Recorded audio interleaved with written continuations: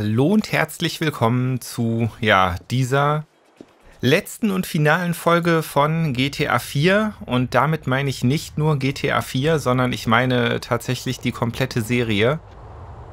Also sprich, also nicht, die komplette Serie stimmt so vielleicht auch nicht. Ich meine nicht die komplette GTA-Serie, sondern GTA 4 mit den Episodes of Liberty City. Die werde ich hier drin direkt mit verwursten. Aber ich habe mir gedacht, da GTA 4 ja nun mal ganz eindeutig das Hauptspiel ist, der Haupttitel aus dieser ja, GTA 4 basierten Reihe. Da möchte ich dann auch mit dem Nico durch die Gegend fahren und Mitteilungen lesen. Wenn du zwischen zwei deiner billigen Schlampen mal Zeit haben solltest, könntest du mich vielleicht anrufen und mich ausführen. Das dürfte wohl die Kiki sein, dann ist die zweite Nachricht wahrscheinlich auch von ihr. Ruf mich an, ich brauche dich. Ja, das werde ich jetzt nicht tun. Ich meine, ihr wisst, ich gehe gerne mit Leuten aus, aber heute nicht. So, was gibt sonst noch zu sagen? Es könnten sich natürlich ähm, aufmerksame Zuschauer fragen, also Zuschauer, die so verrückt waren, das Werk der Wieklinge, das Werk der Weaklinge chronologisch zu verfolgen. Was ist hier los? Vice City komplett durch mit Endspiel-Finalfolge, dann startet San Andreas, dann startet GTA 4 und jetzt kommt eine GTA 4 Finalfolge, obwohl es noch keine, keine San Andreas Finalfolge gibt. Ich bin mir nicht sicher, ob ich mit San Andreas durch bin. Ich möchte eigentlich sehr, sehr, sehr, sehr gerne noch die Mount Chiliad Rennen doch nochmal probieren. Da bin ich ja zuletzt halt ziemlich mit ähm, auf dem Kriegsfuß äh, gestanden mit den, ähm, mit den Mount Chiliad Reihen, äh, Rennen. oh Gott. Es geht schon wieder los. Ja, also Mount Chiliad Rennen schwierig, aber ich möchte die noch probieren und es kommt mit Sicherheit auch noch eine Abschlussfolge für San Andreas. Die berechtigte Frage ist, wann wird es 2018 sein, 2019, 2020? Keine Ahnung. Vielleicht passe ich ja irgendein tolles Jubiläum ab oder so. Wer weiß das schon. Wie dem auch sei, auch typisch Tommy sei vielleicht äh, gesagt, ist, dass das äh, mein zweiter Versuch einer Aufnahme der Finalfolge ist. Ähm, aus mir nicht erfindlichen Gründen hatte ich Probleme mit meinem Aufnahmeprogramm OBS und der erste Durchgang der Aufnahme war unglaublich rucklig. Da hatte ich immer ganz üble FPS-Drops zwischendurch.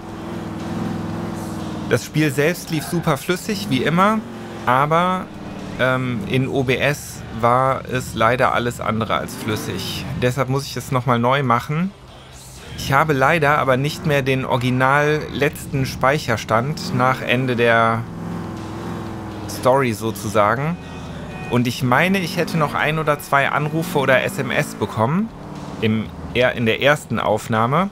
Und die würde ich jetzt höchstwahrscheinlich hier an dieser Stelle reinschneiden, damit ihr die nicht verpasst und ihr noch ein bisschen Info darüber habt, was nach GTA 4 noch passiert. GTA 4 ist meines Erachtens auf jeden Fall halt so das Grund- und Hauptspiel. Oh, Roman ruft an, jetzt geht's ab hier. Hey Nico, are you okay? Yeah, I'm fine. How's Mary like? It's okay. Hard to be happy when your wedding goes the way ours did. Kate's death was very unfortunate. Nico, don't blame yourself. There's no one else to blame, Roman. It's my fault. Because I refused to do that deal for Pegorino. It's my fault because I got close to her. I shouldn't get close to anyone. You should, Nico.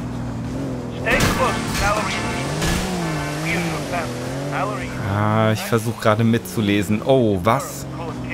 Was? Oh Mann. Oh Mann. Jetzt ruft Pecky an. Das, das wird eine super Abschlussfolge. So, was will er?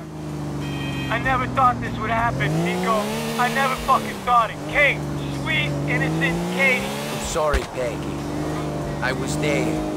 I tried to stop it. She didn't do nothing to nobody. It was us McCreary men who are the sinners. We're paying for that ourselves. She didn't have to pay, too. She didn't pay. You're right. I gotta be with my mom, Nico. She don't got much left other than me, and that ain't much. See you, man. It's enough. See you, man. So, gehen wir mal davon aus, dass das alles geklappt hat und das jetzt gerade lief. Dann können wir nämlich zum äh, Wesentlichen kommen, nämlich zu GTA 4. Und da sei erstmal gesagt, dass ich ähm, wirklich extrem begeistert bin. Ich finde, es ist ein sehr geiles Spiel. Die Stadt hier, Liberty City, es ist der Hammer. Gerade wenn man von jetzt den älteren Teilen kommt, Vice City, San Andreas, es ist natürlich hier eine absolute Grafikexplosion. Auch wenn ich mittlerweile schon weiß, was mit 5 dann nochmal passieren wird, nämlich die nächste Grafikexplosion. Aber wie auch immer, ich finde 4 ist schon echt der Knaller, das kann man nicht anders sagen. Was ich direkt mal als allergrößten Kritikpunkt äh, nochmal, das habe ich ja schon mehrfach ansprechen möchte, ist die Installation. Denn die ist echt ein Riesenhaufen Kacke. Ich kann es nicht anders sagen. Es ist eine unglaubliche Frechheit und ich, ich, ich verstehe es auch nicht, wie das sein kann, dass man da noch nichts geändert hat von, von Seiten Rockstars. Ich, ich kann eigentlich wirklich nur spekulieren, dass Rockstar dieses Spiel auf dem PC mittlerweile egal ist. Ich meine, neulich mussten sie sich nochmal drum kümmern, weil irgendwelche Lizenzen abgelaufen sind. Also nämlich für Musiktitel. Ähm, deshalb musste nochmal ein Patch rauskommen, wo halt dann Musiktitel, für die die Lizenz, also für die sie keine Lizenz mehr haben, rausgepatcht werden. Aber dass man hier diese höllenmäßige Installation so noch beibehält mit Games for Windows Live, das es gar nicht mehr gibt und so weiter und so fort. Nee, echt nicht.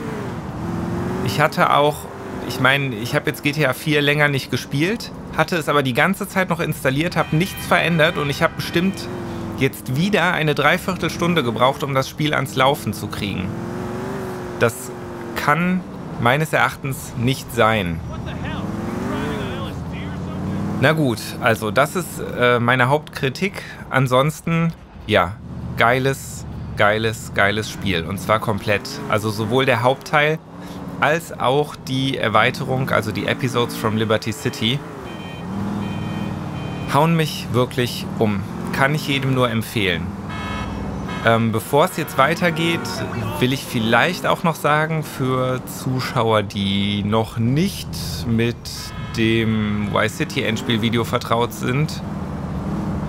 Ähm, ja, beziehungsweise, ja, hier ist die Situation ja auch nochmal anders, wie dem auch sei. Worauf ich hinaus will, ähm, es wird mit Sicherheit gespoilert hier gleich. Also wenn ihr GTA 4 oder die Episodes from Liberty City noch spielen wollt oder euch anschauen wollt, ohne zu wissen, was passiert, dann ähm, guckt lieber nicht diese Folge hier. Denn da werde ich auf jeden Fall über Dinge sprechen. Golden Pier. Gehen wir mal gucken. Ja, ähm, diese Reihe hier, also GTA 4 und The Lost and Damned und die Ballad of Gay Tony, die gehören für mich auf jeden Fall untrennbar zusammen. Wobei, ich habe es eben schon gesagt, GTA 4 der absolute Hauptteil mit riesigem Umfang, epischer Story. Und die anderen beiden sind dann halt doch eher so die ja, Add-ons, die Erweiterungen. Aber nichtsdestotrotz, ich finde, die stehen qualitativ ähm, GTA 4 in nichts nach. Nur der Umfang ist halt deutlich, deutlich, deutlich geringer. Ach, jetzt weiß ich auch, wo ich hier bin. Das ist der Golfplatz. Haha. Interessant, dass die den schon angelegt haben und dann kann man ihn aber in GTA 4 gar nicht nutzen. In ähm, der Ballad of Gay Tony kann man ihn erst nutzen. In The Lost and Damned meines Wissens auch nicht. Naja, also. Wie dem auch sei, ich wollte jetzt eigentlich so wie in der Vice City Finalepisode ein bisschen über Höhen und Tiefen des Spiels erzählen und im Idealfall die entsprechenden Stellen dann hier auch reinschneiden. Ich weiß noch nicht, ob das so gut möglich sein wird wie in Vice City, denn es gibt ja jetzt nicht mehr diese alte Anmerkungsfunktion in YouTube. Ich muss mir mal angucken, ob ich das irgendwie mit Infokarten oder sonst was regeln kann. Also so, dass ich halt auch immer auf die Episoden dann verlinke, wenn ich über irgendwas spreche. Keine Ahnung, weiß ich jetzt noch nicht, werdet ihr aber im Zweifel dann schon sehen. Also, fangen wir mal an. Die liebsten Folgen. Ähm, ich kann das jetzt natürlich nur pro, pro Spiel sozusagen sagen. Würde dann aber einfach mal mit GTA 4 anfangen. Und da muss ich sagen, liegt Freud und Leid teilweise ziemlich nah beieinander. Also was halt die besten Folgen in GTA 4 betrifft, würde ich auf jeden Fall mal die Banküberfall-Folge ähm, anbringen mit den McReary-Brüdern. Die fand ich extrem cool. Ähm, hier lang? Anscheinend hier lang. Hm. Ja, also der Bankraub war auf jeden Fall eine sehr heiße Nummer. Hm, was mir auch sehr gut gefallen hat, war halt, ja, eigentlich der ganze, der ganze Schlussteil. Ähm, also auch die letzte Folge vor allen Dingen, die war echt extrem cool, sehr actionreich. Ähm, allerdings mit diesen beiden Folgen sind wir auch direkt schon bei dem Punkt, dass Freud und Leid nah beieinander liegen. Nämlich in beiden Folgen, sowohl beim Banküberfall als auch in der letzten Epi Episode, gab es einen Bug. Und das fand ich auch sehr traurig und nervig. Der hat mich halt ähm, ja letztendlich doch auch einiges an Zeit gekostet. Und auch da finde ich, das muss nicht sein. Also es ist doch eigentlich ähm, möglich heutzutage sowas rauszupatchen. Aber da sind wir halt wieder bei dem Punkt, da scheint einfach der Wille nicht groß oder stark genug gewesen zu sein. Oder es ähm, ist nicht möglich das zu patchen. Weiß ich nicht. Da kenne ich mich jetzt technisch nicht so aus. Vielleicht ist das aus irgendeinem Grund tatsächlich nicht drin. Ziemlich stark fand ich natürlich auch die Geschichte mit Darko. Ähm, ne, wenn man halt nach dieser langen, langen, langen Zeit endlich die Konfrontation hat und dann halt doch alles anders ist, als wie man es erwartet hat. Und ja, man hat auch, ne, man hat auch durchaus hier Entscheidungen, die man treffen kann in GTA 4. Das finde ich eigentlich auch sehr gut. Man muss unterm Strich sagen, dass die Entscheidungen natürlich nicht riesig stark sind. Also man, ja, oft hat man im Prinzip die Möglichkeit, sich, sich zwischen zwei Charakteren zu entscheiden. Gegebenenfalls hat man dann natürlich auch etwas unterschiedliche Zwischensequenzen, das ist ja klar. Aber ich sag mal so, an der Hauptstory ändert sich im, im Prinzip nichts. Ähm, aber das, ja, finde ich jetzt auch nicht schlimm. Das fand ich trotzdem insgesamt schon, schon gut. Wobei Entscheidungen nicht meine große Stärke sind. Aber naja, wie auch immer. Auf jeden Fall ein Pluspunkt. Ähm, zwischendurch, was ich so ein bisschen als Hänger empfunden habe in GTA 4, war ich hatte zwischendurch das Gefühl, dass sich im Prinzip immer das Gleiche wiederholt. Es lief immer darauf hinaus, dass man eine Konfrontation zwischen zwei Charakteren hatte und sich dann meistens halt nachher tatsächlich irgendwie entscheiden musste. Weiß ich nicht. Da waren halt die Faustin-Brüder, dann waren da ähm, Elisabetha und Manny, Dwayne und Playboy X. Bei den McReary-Brüdern gab es auch mal eine Entscheidung zwischen zweien. Also es lief immer irgendwie halt auf sowas hinaus. Und das habe ich zwischendurch durchaus mal als Länge empfunden. Mit dazu beigetragen an dem Empfinden der Länge hat sicherlich, dass ich auch extrem viel ähm, auf die ja, Freunde und Ausgehanrufe und sonst was eingegangen bin und immer versucht habe, mir halt hier die Freundinnen warm zu halten. Ähm, ich finde, das ist auch eine sehr coole Sache. Das macht halt auch viel vom Spiel mit aus und der Atmosphäre. Aber es war schon teilweise definitiv ein bisschen zu viel. Liegt dann natürlich an einem selbst, also in dem Fall an mir, ob man halt jetzt daran äh, äh, sich daran hält, ob man da mitspielt bei diesen Ausgehgeschichten oder nicht. Ich habe mich dann halt meistens doch dafür entschieden. Wow, Entschuldigung. Aber muss man sicherlich nicht machen, dann kommt man auch flotter durch das Spiel hindurch. Ja, ansonsten wären wir dann vielleicht jetzt bei The Lost and Damned. Ähm, da würde ich sagen, fand ich extrem cool. Da sind wir vielleicht auch direkt gleichzeitig bei einem Charakter. Extrem cool fand ich den Tom Stubbs, den Kongressabgeordneten. Ähm, da gab es zum einen halt schon diese Folge, da lernt man ihn überhaupt erst kennen, nackte Tatsachen, ähm, wo halt schon mal überhaupt die Mission, äh, also die, die, die, der Moment, die Zwischensequenz, in der man den Auftrag bekommt, die war schon extrem cool. Ja, und der Auftrag ist ja dann auch mal mehr als heftig, dass man da irgendwie den, den Onkel von ihm ausschalten muss auf dem Flugplatz. Ähm, Hammer. Die fand ich schon ziemlich cool, die Folge.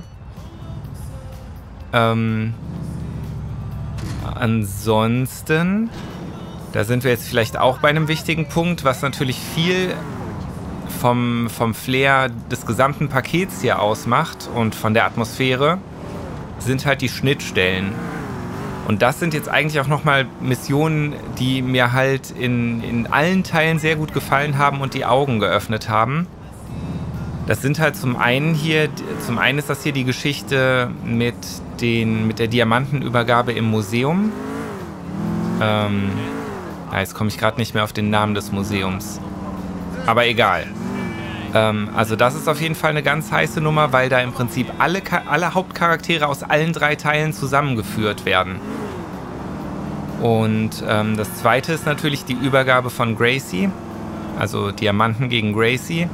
Auch das wieder ein unglaubliches, ein unglaublicher Aha-Moment, wo, ein, wo einem oder wo mir zumindest wirklich die Augen geöffnet wurden. Und ich echt gedacht habe, wie blöd bist du eigentlich, als ich gemerkt habe, dass da Nico, Luis und Tony auftauchen. Ähm, und ja, ich weiß nicht, im Hauptspiel ist es echt komplett an mir vorbeigegangen. Ich habe mir die Stelle auch nochmal in GTA 4 angeschaut. Also ich habe wirklich absolut überhaupt nicht gerafft, dass da der Tony mit dem Luis auftaucht.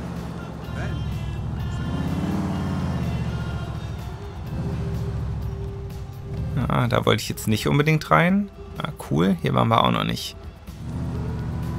Ähm, ja, Luis vielleicht noch mal gerade äh, für, weiß ich nicht, Quereinsteiger oder was auch immer. Ja, wahrscheinlich haben, haben ja auch schon alle Menschen auf der Welt diese Spiele hier gespielt. Luis, der Hauptcharakter von The Ballad of Gay Tony. Der Hauptcharakter von ähm, The Lost and Damned ist Johnny. Und hier Nico, halt der Hauptcharakter von GTA 4. Ja, und wie, wie dann halt diese ganzen Zusammenhänge sind, das wird natürlich auch einfach durch die Episodes nochmal unglaublich ähm, ja, zusammengeführt und ähm, ja, lose Enden werden auch abgeschlossen.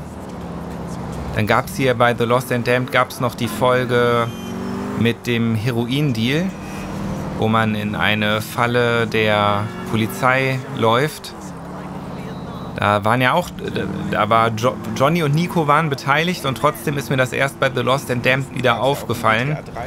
Obwohl ich die Szene ja eigentlich aus GTA 4 schon kannte. Aber ja, man, man sieht es dann halt immer noch mal aus einem anderen Blickwinkel. Wenn man im Helikopter sitzt und halt verfolgt, wie Gracie von einem Ort zum anderen gebracht wird oder halt zumindest wie Pecky zu Gracie fährt. Ich weiß nicht mehr genau, wie es, also was da in der Folge geschah, aber es ist halt einfach extrem cool. Und ähm, ja, ich, ich kann es echt nur empfehlen, das zusammen zu spielen, aber wie gesagt, wahrscheinlich habt ihr das eh schon getan. So, ähm, schlimmste Folge bei The Lost and Damned. Das war ganz klar die Folge mit den Rohrbomben. Überhaupt waren so ziemlich alle Folgen wo irgendwie was geworfen werden musste, waren schrecklich. ganz schrecklich, weil ich, ich weiß nicht warum, aber das fiel mir in GTA 4 unglaublich schwer. Eine leichte Ausnahme ist da vielleicht The Ballad of Gay Tony, denn da gab es diese Haftbomben, die waren deutlich angenehm, angenehmer, denn die klebten am Ziel und man konnte sie dann per Fernauslöser zünden. Ähm, mit denen bin ich ganz gut zurechtgekommen, aber die Rohrbomben in The Lost and Damned und die Granaten in GTA 4, beides ganz, ganz üble Nummern. Ähm, ja, genannt sei da vielleicht auch noch als schlimmste Folge mit bei GTA 4, die Folge 4, glaube ich, WTF, wo wir eine Scheibe einwerfen müssen. Eigentlich eine echte Pille-Palle-Mission, aber ich hab's absolut nicht gerafft. Ich bin wahnsinnig geworden. Und vielleicht ist das auch noch ein kleiner Minuspunkt. Ich finde, es gibt ein paar Dinge in der Steuerung, die auf dem PC meines Erachtens nicht gut funktionieren und die mal wieder zeigen auch, dass das Spiel wahrscheinlich halt vorzugsweise für Konsole entwickelt wurde. Ähm, zum Beispiel sei da auch genannt, ja, ich glaube, hier ist die Scheibe jetzt schon kaputt. Aber wenn man, an, wenn man das Telefon bedienen möchte, ja, hier ist die Scheibe jetzt schon kaputt. Wenn man das Telefon bedienen möchte, jedes Mal habe ich dabei die Fensterscheibe zerschlagen. Wenn ich dabei Rohrbomben oder Granaten in der Hand hatte, habe ich die sogar noch aus dem Fenster geworfen. Ne? Obwohl ich telefonieren wollte, aktive Waffe waren die Granaten, also sprenge ich mich noch selbst damit in die Luft. Also so ein, so ein Müll. Ich finde, das muss echt nicht sein. Na gut, aber es ist trotzdem Klagen auf hohem Niveau. Ähm, dann kommen wir mal zur Ballad of Gay Tony. Auch hier sind die besten Folgen oder Lieblingsfolgen unter anderem mit einem Charakter verknüpft und das ist Amir Yusuf. Ich habe ihn am Anfang gehasst, ich habe ihn nachher geliebt, muss ich echt sagen. Vollkommen durchgeknallter Typ, aber ich meine, das trifft auf sehr, sehr viele Charaktere in der GTA-Serie zu. Und ähm, ja, die Aufträge mit ihm waren halt echt immer vollkommen unglaublich. Wir haben für ihn einen Militärhelikopter geklaut und damit eine Yacht versenkt. Wir haben einen Panzer geklaut, wir haben eine U-Bahn geklaut. Ich glaube, das war's, aber ich finde, das reicht auch. Also es waren alles einfach nur super heftige Missionen und sehr cool. Oh, und da fällt mir ein, ganz wichtig, was ich bei The Lost and Damned noch vergessen habe als äh, beste Mission, die letzte. Der Gefängniseinbruch die finale Konfrontation mit Billy Gray. Das war natürlich auch der absolute Knaller. Eine sehr, sehr, sehr coole Mission. Sie kam für mich plötzlich. Ich muss auch sagen, das ist für mich eigentlich, also The Lost and Damned hat mir hammermäßig gut gefallen, aber es war sehr plötzlich zu Ende. Da habe ich einfach noch nicht mit gerechnet an der Stelle. Aber ja, wie dem auch sei, war halt trotzdem dann damit einfach abgeschlossen. Und um dann auf The Ballad of Gay Tony zurückzukommen, auch da fand ich die letzte Mission einfach extrem cool. In dem Fall dann halt die finale Konfrontation mit Bulgarin. Also auch die boah, ist auf jeden Fall ganz vorne mit dabei. Ähm, vorne mit dabei bei den schlimmsten Folgen ist dann allerdings, ich weiß nicht, die vor- oder drittletzte von der Ballad of Gay Tony, wo wir uns im Club verschanzen. Und unglaubliche Gegnerhorden auftauchen, gegen die wir kämpfen müssen. Ähm, die fand ich jetzt nicht schlecht an sich, die Mission, aber die fiel mir echt schwer. Also die war knüppelhart, fand ich. Und ähm, ja, generell fand ich, der Schwierigkeitsgrad zog da auch teilweise dann nochmal ziemlich an. Aber ist eigentlich kein Minuspunkt, denn ich finde, ein Spiel muss ja auch herausfordernd sein und bleiben. Und das war es definitiv. Ne, also The Ballad of Gay Tony.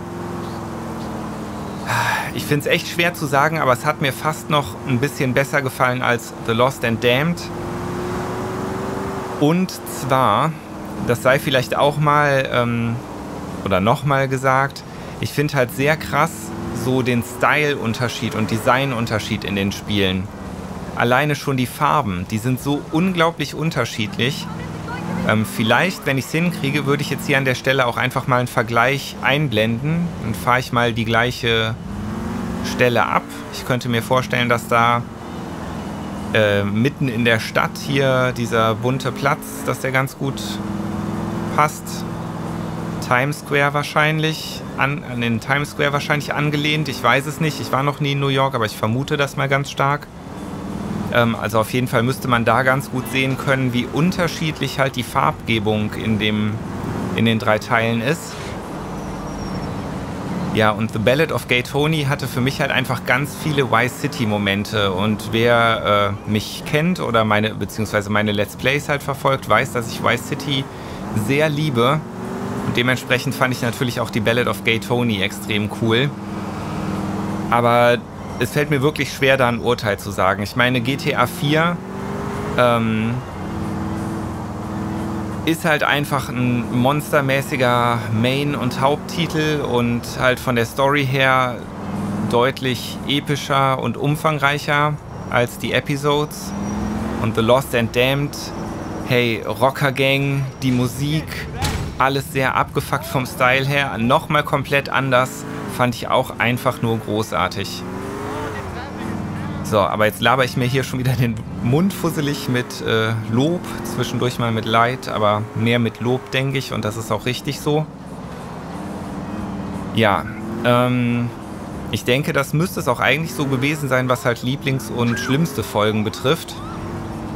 So, hier noch ein super wichtiger Nachtrag. Ich habe natürlich eine Mission vergessen, nämlich die Mission, in der die Diamanten überhaupt gekauft werden. Also die Mission, in der der Koch vom Schiff die Diamanten an Tony verkauft.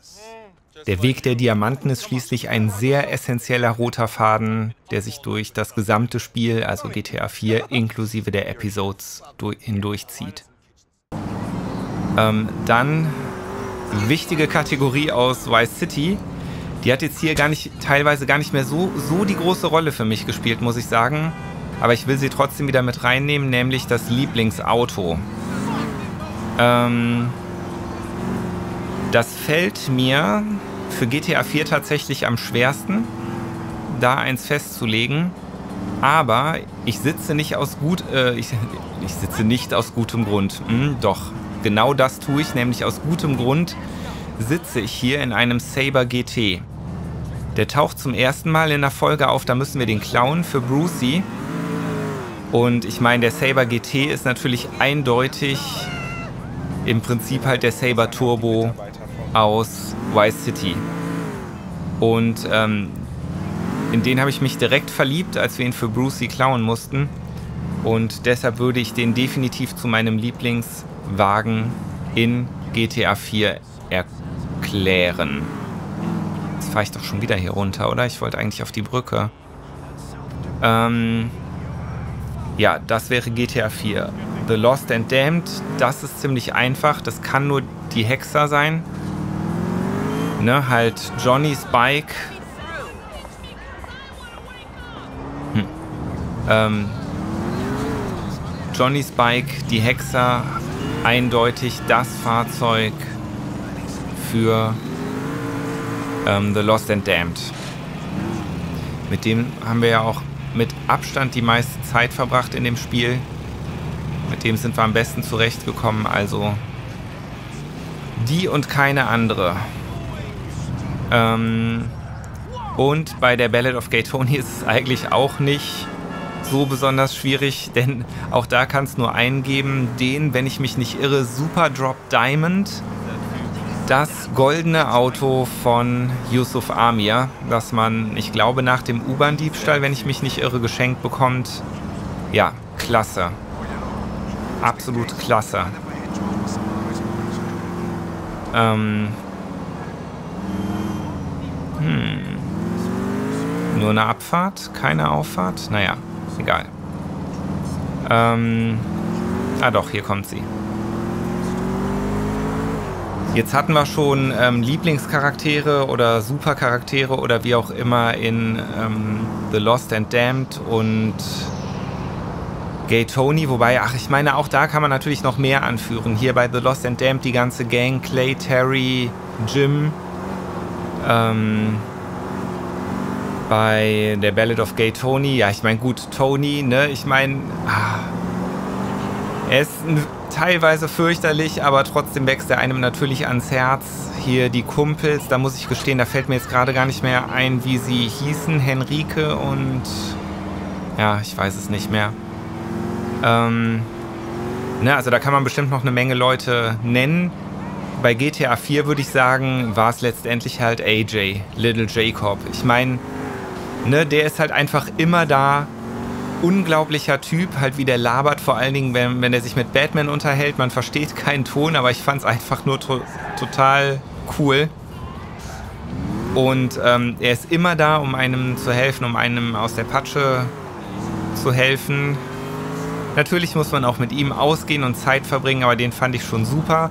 Und ich meine, Roman muss man natürlich auch nennen. Fürchterliche Nervensäge, aber ja, auch der wächst einem einfach ans Herz und auch er ist einfach ein liebenswerter Typ letztendlich. Ja, Unsympathen gibt es halt in, in jedem Teil noch und nöcher. Da muss man eigentlich nicht viel zu sagen. Ähm, ja.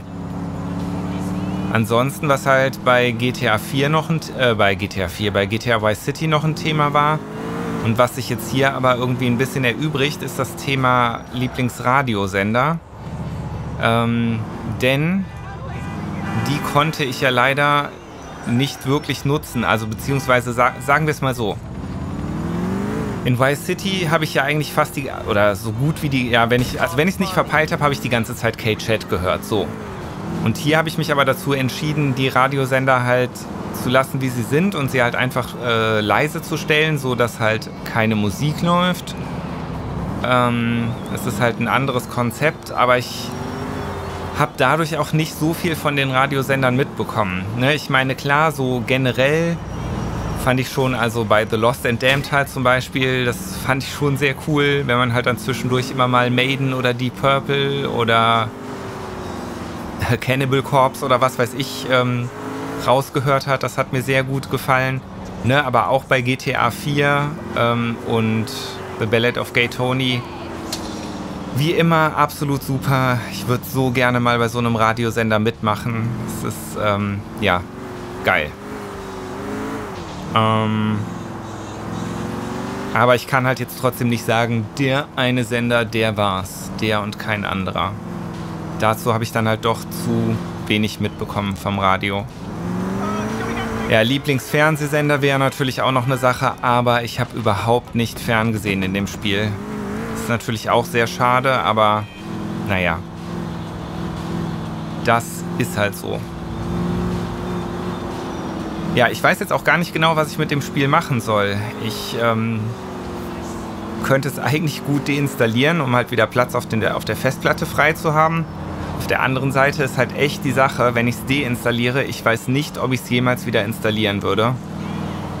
Weil es ist echt eine Pein, die man sich nicht gerne antun möchte. Ja. Insofern mal schauen. Vielleicht lasse ich es auch einfach drauf. Mal gucken. Ja, nachdem wir jetzt hier diese ganzen Sachen abgefrühstückt haben, sei vielleicht noch ähm, zu sagen, danke.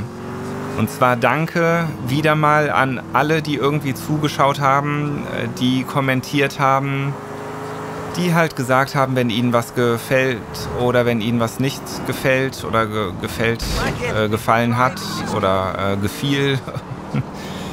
so genug Zeitformen. Ähm, ja, also ne, ich habe immer gesagt, und das bleibt auch so, ich mache das hier hauptsächlich erstmal für mich, damit ich Computerspiele wieder durchspiele und zu Ende spiele und es funktioniert. Das ist großartig, das freut mich. Aber wenn ihr dazu kommt und halt zuschaut und schreibt und ähm, ja, interagiert, dann freue ich mich noch mehr und dann macht es auch definitiv noch mehr Spaß. Und ähm, das dürft ihr auch gerne weiter tun. Ihr dürft auch gerne, wenn ihr das noch nicht getan habt, den Kanal abonnieren. Ich weiß nicht, YouTube hat irgendwie jetzt nochmal die, ähm, die Hürden ziemlich angehoben, um hier durchzustarten. Ich meine, ne, wir machen ja eh, also durchstarten ist bei den Weaklingen, glaube ich, sehr relativ. Wir haben, machen keine Monetarisierung und so. Es geht hier nicht um äh, Geld und Ruhm. Aber nichtsdestotrotz, es war mal so, dass man bei 100 Abonnenten oben die Adresszeile ändern kann. Dann könnte da zum Beispiel stehen youtube.com slash die Weaklinge oder ähnliches. Und das fände ich halt extrem cool. Deshalb, wenn ihr noch nicht auf Abonnieren geklickt habt, macht das mal. Vielleicht schaffen wir es ja dann in den nächsten, weiß ich nicht, zwei bis vier Jahren oder so, die 100 zusammenzukriegen. Aber naja, wenn nicht, ist auch nicht schlimm. Wir werden sehen. Ähm, ja, also, danke euch, danke allen Zuschauern. Danke auch an die Kollegen, an Bombi, der mir gerade hier bei GTA 4 immer mit, also wirklich sehr, sehr, sehr hil hilfreichen Tipps äh, zur Seite stand. Die habe ich bisweilen ignoriert, wenn es ums Ausgehen ging. Tut mir leid, wenn ich da... Probiere ich das jetzt? Oh mein Gott, das wird heftig. Also bisweilen habe ich die Tipps ignoriert, wenn es ums Ausgehen ging. Das wird nicht gut gehen. Ich werde hier abstürzen mit dem Saber GT. Aber sowas von. Direkt einfach durchgestürzt. Ähm. WTF. WTF. Hammer. Okay, gut, alles klar. Schön. Können wir hier durchfahren? Boah, der schöne Wagen. Ja, also ähm, Bombi, tausend Dank für deine Hilfe hier. Habe ich da jetzt wirklich einen Wegpunkt hingesetzt? Naja,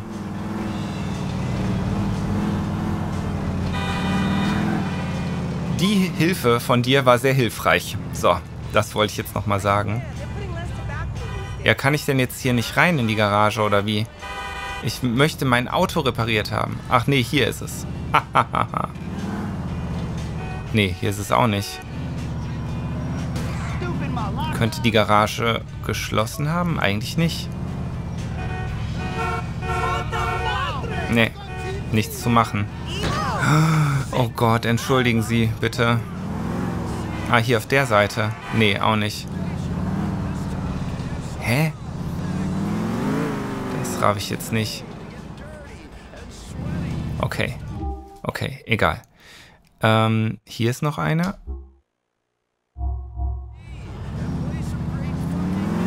So, tausend Dank natürlich auch nochmal wieder an Gary, der das ähm, Thumbnail ähm, der mich hier wieder mit Thumbnail unterstützt hat. Und wer die Sondersendung der Weeklinge gesehen hat, die letzte, der wird leider wissen, dass Gary ähm, sich im Moment auf die Bahamas zurückgezogen hat und deshalb ich händeringend äh, einen Nachfolger gesucht habe.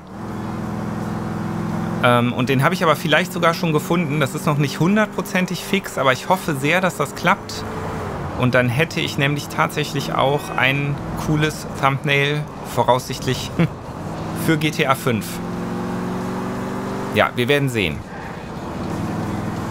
Äh, wenn nicht, zeichne ich selbst was. Ihr wisst, das kann ich sehr gut und das wird dann bestimmt auch super. Ähm, äh, so, hier rum. Ja, also danke, danke Publikum, danke ähm, Gary, danke Bombi.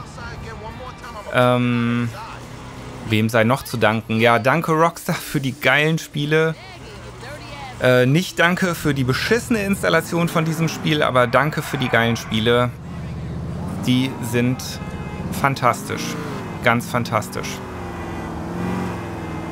Ja, und ähm, ich muss ganz ehrlich sagen, mir fällt allmählich nichts mehr ein, womit ich hier irgendwie noch Zeit totschlagen könnte, was ich nicht tue.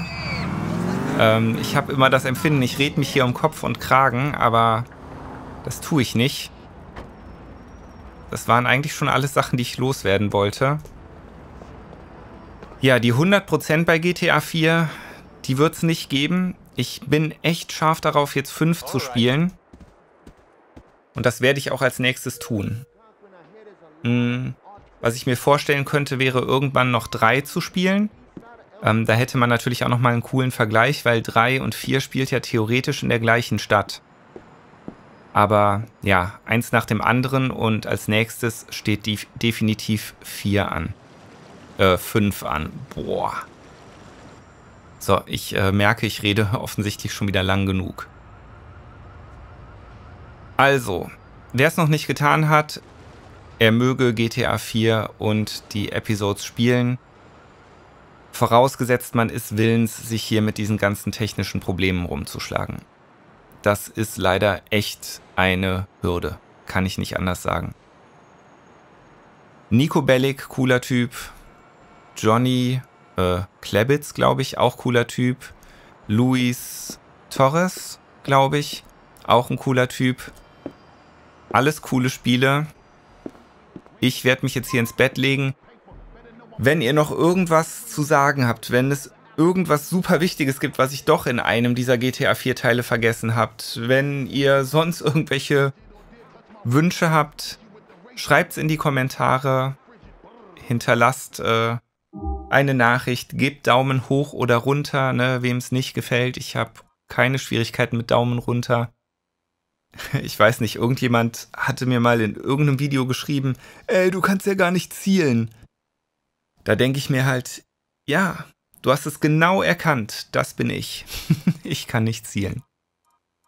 Ähm, ist mir aber ehrlich gesagt egal. Ich komme trotzdem durch die Spiele durch und sie machen Spaß. Und deshalb mache ich weiter. Weiter mit GTA 5 Ne, wenn euch noch was Wichtiges einfällt und ich mir denke, okay, die könnten recht haben, das solltest du noch tun, dann kehre ich vielleicht auch nochmal zurück nach 4. Äh, ihr wisst, ich bin da eigentlich, eigentlich leicht rumzukriegen. War ja bei Vice City nicht anders, aber die 100% werde ich hier, glaube ich, nicht machen. Und auch nicht in San Andreas. In San Andreas ist es, glaube ich, viel zu krass. Na gut. Also. Vielleicht oder zumindest vorerst ein letztes Mal Dankeschön fürs Zuschauen. Wenn drei noch kommt, sehen wir uns definitiv nochmal wieder in Liberty City. Ähm, ansonsten vielleicht, vielleicht auch nicht. You never know. Danke fürs Zuschauen. Macht es gut. Ciao.